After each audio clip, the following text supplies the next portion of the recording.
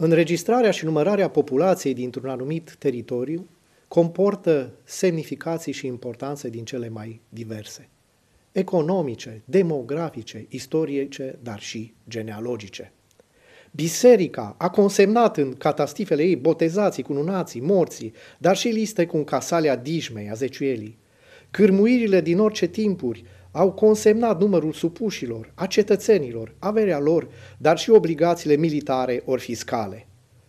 În administrația modernă, numărarea populației vizează, pe lângă factorul demografic, și potențialul economic.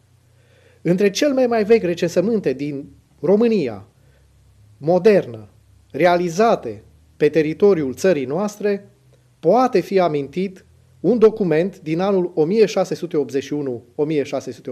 1681-1682, Urbariul domeniului Hunedoarei. În iarna dintre anii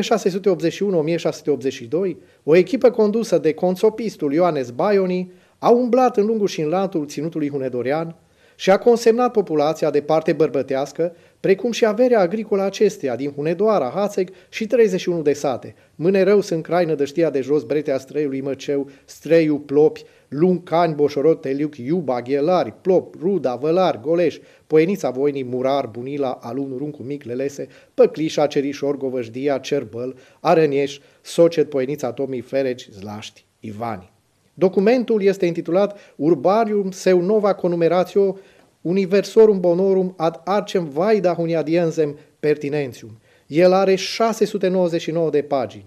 Îi sunt consemnate în, pentru fiecare caz localitatea și limitele acesteia, numele străzilor și a ulițelor. Spre pildă, Hunedoara al 1682 avea următoarele ulițe, ale castelului, ulița de subzidurile cetății, Surduc, Pieței, Apei Zlaștiului, Morii, Grecilor, ulița lui Albul, Bisericii Românești, Săracilor Severinului. Iar Hațegul avea străzi și ulițe precum Pasici, Zăvoi, Fizeștilor, Iazului, ulița Boilor, Pieței, Prundului, ulița din josul Pieței.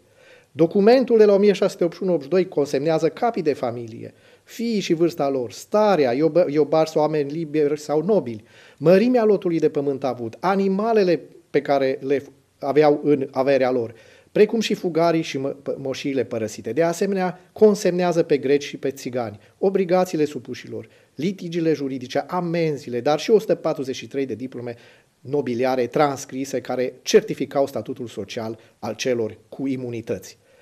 Acest document, care menționează pentru prima dată s-ar putea spune într-o formulă modernă organizarea districtului pădurenilor cu cele 23 de sate ale sale, reprezintă oglinda a lumii hunedorene de la sfârșitul secolului al XVII, așa cum era ea, și reconstituie ambientul interior al castelului Corvinilor datorită faptului că oferă un inventar.